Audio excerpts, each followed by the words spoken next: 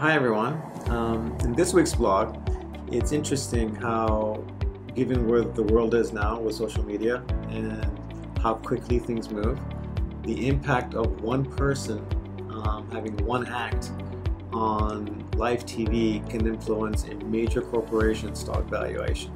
And this is specifically about Coca-Cola and what happened um, last week, but more importantly, it's just the impact of one person um, doing or saying one thing that can either positively or negatively impact a brand. So enjoy the read.